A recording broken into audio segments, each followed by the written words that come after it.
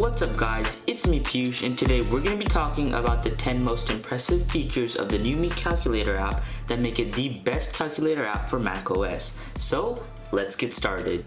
First of all, the Numi Calculator app is free. Now this is probably the best feature any app could have. While there is a paid version of the Numi Calculator app, I really don't think it's necessary because the free version can handle basically anything and I mean anything that you'll need to do on a calculator. With all the amazing things you get in the Numi Calculator app, the fact that it's free is unreal. In addition, the Numi Calculator app supports both light mode and dark mode. For me, this is a very important feature because I think the aesthetic of a product is really important when you're using it. The advantage of having the decision between dark mode and light mode is pretty obvious. If you're in a dark environment or it's nighttime, then you can use dark mode because it's easier on your eyes. If you're outside or if you're in a bright environment, then you can use light mode because it'll match the surroundings that you're in. I personally just keep it always on dark mode because as I said, it looks aesthetically pleasing. To set this to the desired mode, open the app and click the little switch on the bottom left of the window.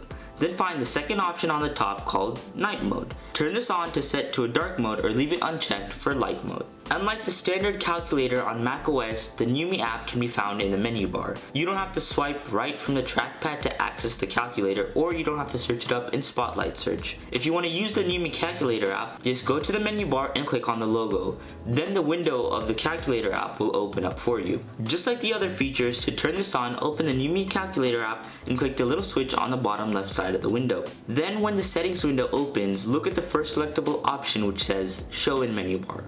Once you click this, you can find the Numi app waiting for you in the menu bar. If you want an even easier way to open up the Numi Calculator app without going into the menu bar, then you can turn on the shortcut or hotkey for it. This allows you to open up the app quickly when you need it. In addition, the hotkey can also be used to close the app when you don't need it anymore. To activate this feature, open the Numi app and open up the settings window. Then find the box that says hotkey and add the hotkey of choice. I personally use Control C because it's pretty easy to remember, C for calculator. Unlike the standard calculator app on macOS, the Numi app can convert basically anything you need it to.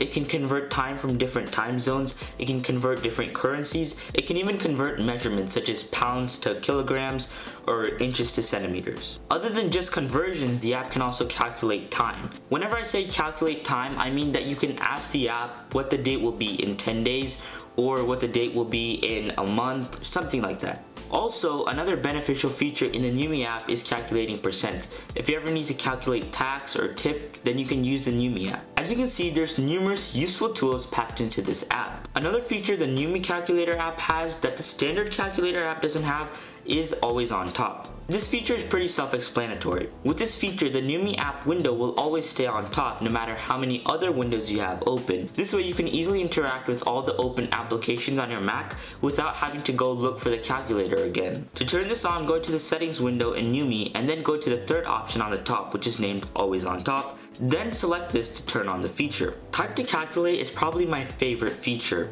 Instead of having to click random keyboard shortcuts to get a subtract sign or addition sign, now you can just type it in the Numi app. For example, if you wanted to add an Indian rupee symbol. If you want to do that normally, then you'd have to click Control Command Space. Then you would have to dig through the menu to find the correct symbol. However, in the Numi app, you can just type in Indian rupee and it'll show up for you. As you can see, this is a really big time saver when compared to other calculator apps. The Numi Calculator app is super simple and aesthetically pleasing. The monospaced font and the clean background allow for a good calculator experience, if that's the thing. In my opinion, it looks far better than the standard calculator app in macOS. Another really cool feature in the Numi Calculator app is the ability to control how many numbers are put after the decimal point. This is very useful when you have to round to a certain value without actually having to go through the mental process of rounding the number. To access this control, open the Numi app and click the little switch on the bottom left left of the window.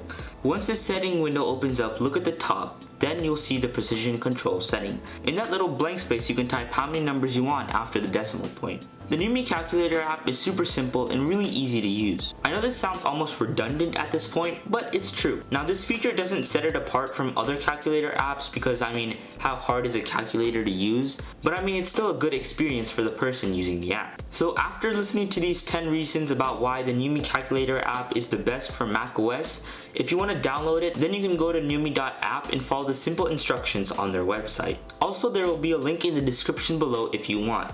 That's it for this video. Make sure to like, share, and obviously subscribe. Also hit that notification bell so you know whenever I upload a new video. Also follow me on Instagram and Twitter at SweetTechPlanet. Thank you for watching, and I'll catch you next time.